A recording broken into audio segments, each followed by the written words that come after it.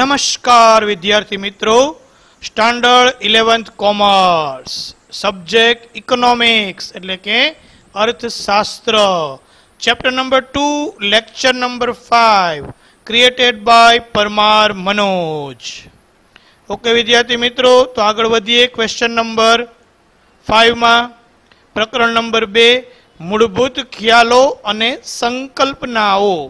Fundamental concept and terminologies પ્રકરણનું નામ છે મૂળભૂત ખ્યાલો અને સંકલ્પનાઓ. જેમાં આપણે પ્રશ્ન નંબર પાંચ પહોંચી ગયા છીએ. પ્રશ્ન પાંચ છે, ઉત્પાદનના સાધનોની વિસ્તૃત માહિતી સમજાવો. તો ઉત્પાદનના સાધનોની વિસ્તૃત માહિતી સમજાવો. પેજ નંબર પંદર અને સોળ ઉપર છે, વિદ્યાર્થી મિત્રો. ઉત્પાદનના ચાર સાધનો, જમીન, મૂડી, શ્રમ અને નિયોજન શક્તિ, એટલે કે નિયોજક. તો એની વાત આપણે કરવાની છે. પાંચ માર્કનો મોટો પ્રશ્ન છે. કોઈ એક સાધન બે અથવા ત્રણ માર્કમાં પણ પૂછી શકે છે. ઓકે, વિદ્યાર્થી મિત્રો, જોઈએ ઉત્પાદનના સાધનો ફેક્ટર્સ ઓફ પ્રોડક્શન બરાબર? ફેક્ટર્સ ઓફ પ્રોડક્શન તો એની વાત કરીએ. ઉત્પાદનના સાધનો ક્યાં ક્યાં છે? એની વાત. એની પ્રસ્તાવના રૂપે પહેલાં જોઈએ કે માણસ અમર્યાદિત જરૂરિયાતો ધરાવે છે. માનવીની જરૂરિયાતો કેવી છે? અમર્યાદિત છે. આ જરૂરિયાતોની પૂર્તિ માટે વસ્તુઓ અને સેવાઓનું ઉત્પાદન કરવામાં આવે છે. વ્યક્તિ તો કે આ જરૂરિયાતો પરિપૂર્ણ કરી શકે એટલા માટે વસ્તુઓ અને સેવાઓનું ઉત્પાદન છે, કરવામાં આવે છે. માનવીની જરૂરિયાત સંતોષી શકે તે રીતે વસ્તુ કે સેવાને ઉપયોગી સ્વરૂપ આપવામાં આવે તે ઉત્પાદન છે. માનવીની જરૂરિયાત સંતોષી શકે તે રીતે વસ્તુ કે સેવાને ઉપયોગી સ્વરૂપ આપવામાં આવે તો એ શું છે? તો કે ઉત્પાદન છે એમ કહી શકાય. સાદી રીતે કહીએ તો ઉપયોગિતા ગુણનું સર્જન, જેને કહીએ તુષ્ટિ ગુણનું સર્જન કરવાની પ્રક્રિયા એટલે ઉત્પાદન. દાખલા તરીકે જોઈએ તો લાકડાને ખુરશીના સ્વરૂપમાં બદલવાથી તેમાં ઉપયોગિતાનો ગુણ ઉમેરાય છે. એમને એમ લાકડા માટે આપણે નથી બેસતા, પણ સરસ મજાની ખુરશી બનાવી હોય તો એ ઉપયોગિતા મૂલ્ય વધ્યું કહેવાય. તો આ પ્રક્રિયાને શું કહેવાય? ઉત્પાદન કહે છે.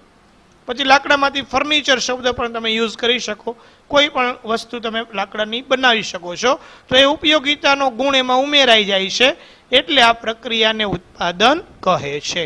અને તુષ્ટિગુણના સર્જનની પ્રક્રિયામાં જે મદદરૂપ થાય તે બાબતોને સાધન કહે છે. તુષ્ટિગુણનું સર્જન કરવામાં આવશે ને એ સર્જનની પ્રક્રિયામાં જે મદદરૂપ થશે એ બાબતને શું કહેવાય છે? તો કે સાધન કહે છે. સ્થળ બદલવાથી, સ્વરૂપ બદલવાથી અને સમય બદલવાથી. આપણે જોઈ ગયા છીએ તુષ્ટિગુણના પ્રકારમાં કે સ્થળ તુષ્ટિગુણ, સ્વરૂપ તુષ્ટિગુણ અને સમય તુષ્ટિગુણ. વસ્તુના તુષ્ટિગુણમાં, ઉપયોગિતાના ગુણમાં વધારો થાય છે અને તે પ્રક્રિયા ઉત્પાદનની પ્રક્રિયા છે. આ પ્રક્રિયામાં મદદ કરનારી બાબતો એ ઉત્પાદનના સાધનો છે. આ જે પ્રક્રિયા થાય, એમાં મદદરૂપ કરનારી જે બાબતો છે, એ શું છે? તો કે ઉત્પાદનના સાધનો છે, એમ આપણે કહી શકીએ છીએ. ત્યાર પછી જોઈએ, ઉત્પાદનના મુખ્યત્વે ચાર સાધનો છે. જમીન, મૂડી, શ્રમ અને નિયોજક. રાષ્ટ્રના કુલ વાર્ષિક ઉત્પાદનનો આધાર આ ચાર ઉત્પાદનના સાધનો પર રહેલો છે. ઉત્પાદન પ્રક્રિયામાં ચારેય સાધનનું મહત્વ સરખું છે. ચારમાંથી એક ન હોય તો ચાલશે નહીં. ચારે ચાર સાધનોનું મહત્વ કેવું છે? સરખું છે. વહેંચણીની ન્યાયી પ્રક્રિયા ઉત્પાદનના ચારેય સાધનોને ઉત્પાદનમાં તેમણે આપેલા ફાળા મુજબ વળતર આપે છે. વહેંચણીની કેવી પ્રક્રિયા? ન્યાયી પ્રક્રિયા. ઉત્પાદનના ચારેય સાધનોને ઉત્પાદનમાં તેમણે આપેલા ફાળા મુજબ વળતર આપે છે. અને એટલે જ માર્શલ જણાવે છે કે ઉત્પાદનના મૂળ તો બે જ સાધનો છે. એક છે કુદરત અને એક છે માણસ. આવું કોને કીધું? માર્શલે. પણ અર્થશાસ્ત્ર એમ કહે છે ઉત્પાદનના કેટલા સાધનો? ચાર. જમીન, મૂડી, શ્રમ અને નિયોજક. એટલે નિયોજન શક્તિ. જ્યારે માર્શલ શું કહે છે તો કે ઉત્પાદનના બે જ સાધન છે. એક છે કુદરત, એક છે માણસ. આપણે યાદ રાખવાનું એમસીક્યુમાં પૂછાય કે માર્શલના મતે ઉત્પાદનના સાધન કેટલા? બે, ત્રણ, ચાર કે પાંચ? તો બે લખવાનું. માર્શલના મતે બે જ છે, એક કુદરત ને એક માણસ. ઓકે નેક્સ્ટ જોઈએ. ઉત્પાદનના ચાર સાધનોનો પરિચય. એમાંનું પહેલું વહેલું છે જમીન, એટલે કે ભૂમિ. સામાન્ય વ્યવહારમાં જમીન એટલે પૃથ્વીની ઉપરની સપાટી, જેના પર માણસ વસવાટ કરે છે. બરાબર ને? આપણે જમીન કોને માનીએ છીએ? તો કે સામાન્ય વ્યવહારમાં જમીન એટલે પૃથ્વીની જે ઉપરની સપાટી છે, જેના ઉપર માણસ વસવાટ કરે છે એ એટલે જમીન. પણ અર્થશાસ્ત્રમાં જમીનનો વિસ્તૃત અર્થ છે. પ્રોફેસર માર્શલના મતે, યાદ રાખજો માર્શલનું નામ ગ્રીન પેનથી માર્શલના મતે મનુષ્યને ઉત્પાદનમાં મદદરૂપ થતા કુદરતી પરિબળો, એ જમીન છે. ફરીથી માર્શલના મતે મનુષ્યને ઉત્પાદનમાં મદદરૂપ થતા કુદરતી પરિબળો, એ જમીન છે. એટલે કે હવા, પાણી, સૂર્યપ્રકાશ, આબોહવાનો સમૂહ એટલે જમીન. આ બધું જમીનમાં આવી જાય. ઉત્પાદનમાં મદદરૂપ થાય એવું ખનિજ, ખાણ, પર્વત, નદી, ગરમી તમામને જમીન ગણીએ તો જમીનના મહત્વના લક્ષણો નીચે મુજબ છે. આ બધું જમીન છે. ટૂંકમાં ઉત્પાદનમાં મદદરૂપ થતું એવું તમામ ખનિજ જે પૃથ્વીના પેટાળમાંથી કાઢવામાં આવે. ખાણ, પર્વતો, નદીઓ, ગરમી, બરાબર? એ તમામને અહીંયા જમીન ગણશું. તો જમીનના મહત્વના લક્ષણ નીચે મુજબ છે, પાંચ લક્ષણો છે. એની ડિટેલ્સ આપણી ટેક્સ્ટ બુકમાં નથી આપેલી નવા કોર્સ મુજબ, એટલે આપણે ખાલી નામ જ લખવાના થાય છે. નંબર એક, જમીન કુદરતી બક્ષિસ છે. કુદરતે આપેલી છે. તે માનવ સર્જિત નથી. માનવ સર્જન નથી. જમીન એ માનવીના સર્જન દ્વારા ઉત્પાદિત નથી થતી. બીજું, જમીનનો કુલ પુરવઠો સ્થિર છે. એમાં વધારો નથી થતો. પુરવઠો સ્થિર છે. ત્રીજું, જમીન ભૌગોલિક રીતે અગતિશીલ છે. અગતિશીલ એટલે એક જગ્યાએથી બીજી જગ્યાએ જઈ શકતી નથી. નંબર ચાર, તેની ફળદ્રુપતા જુદી જુદી હોય છે. જમીનની ફળદ્રુપતા કેવી છે? અલગ અલગ, જુદી જુદી છે. અને નંબર પાંચ, ભૂમિને મળતા વળતરને ભાડું કહેવાય છે. ભૂમિ એટલે જમીન. જમીનને જે વળતર મળે છે એને શું કહેવાય છે? ભાડું. આ પણ એમસીક્યુ અથવા વીએસક્યુમાં પૂછાય. કે ભૂમિને મળતા વળતરને શું કહે છે? તો ભાડું કહે છે. ચાર ઓપ્શન આપ્યા હોય. બરાબર? ભાડું, વ્યાજ, વેતન, નફો.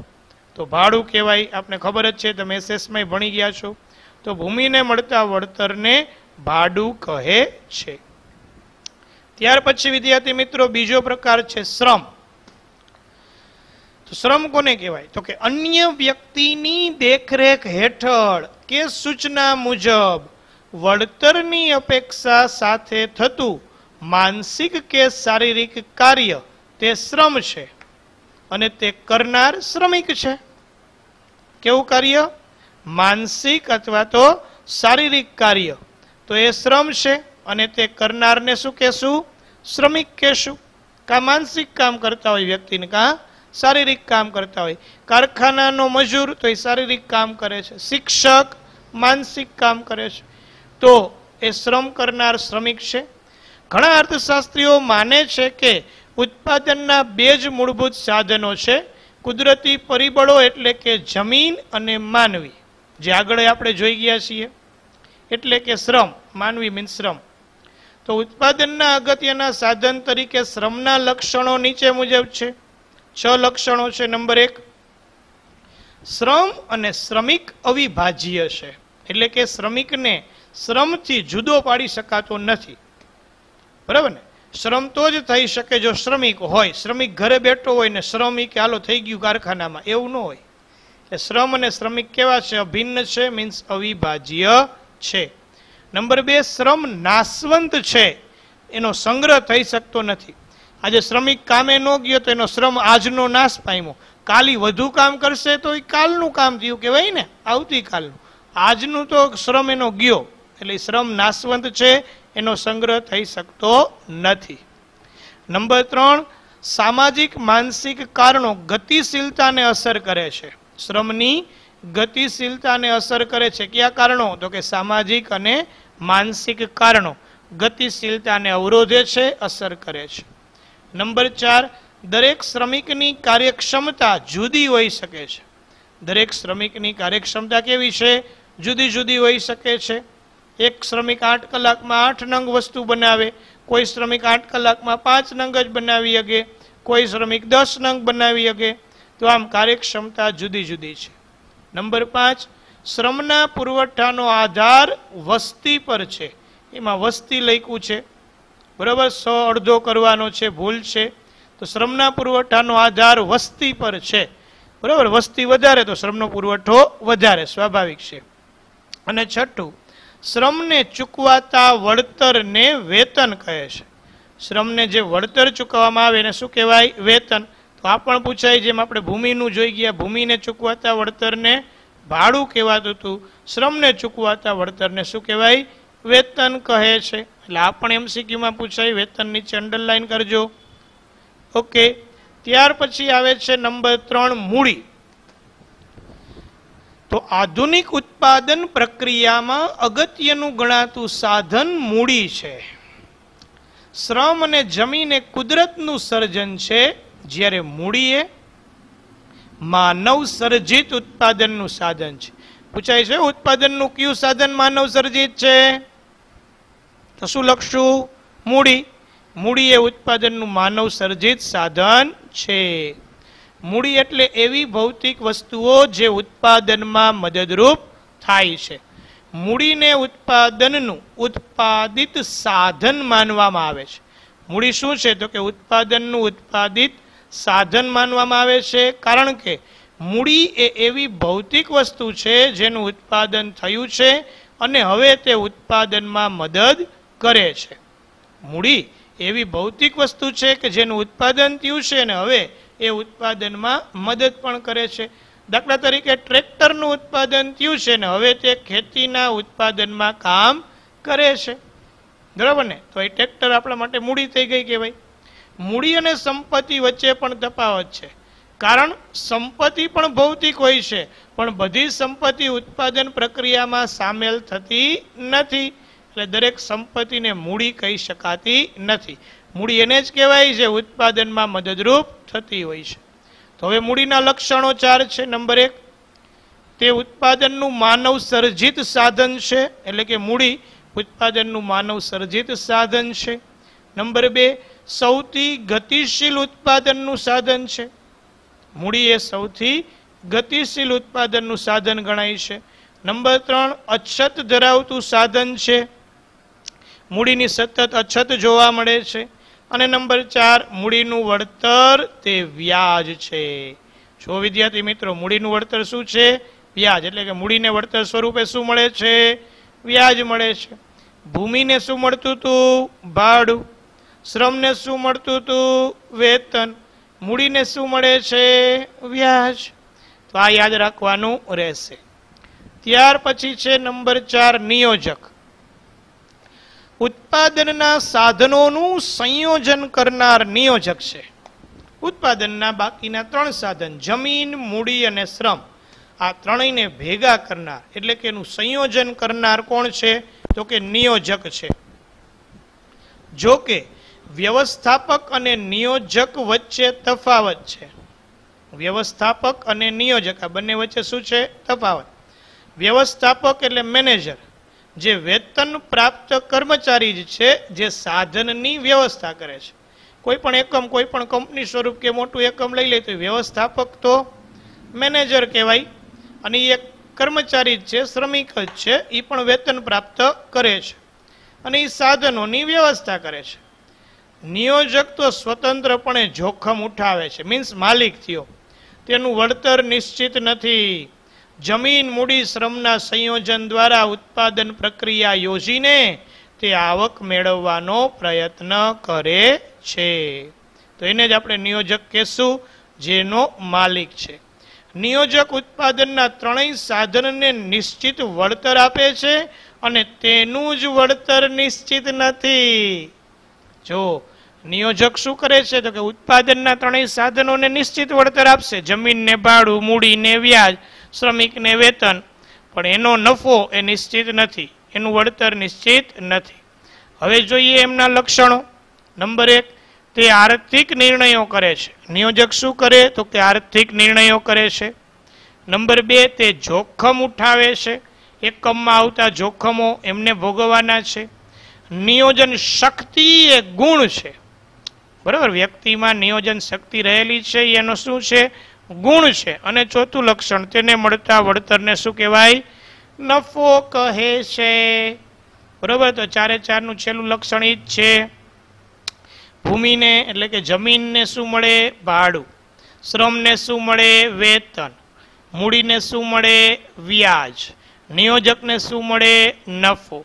તો આમ વળતર સ્વરૂપે ઉત્પાદનના ચારેય સાધનોને મળતું હોય છે.